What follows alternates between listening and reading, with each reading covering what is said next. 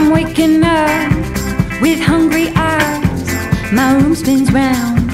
It's no surprise when changes come knocking at my door. I have my hopes set on something more, but I grab my hat. I let my hair down. I sing my songs. My arms are wide, and they should know. Can't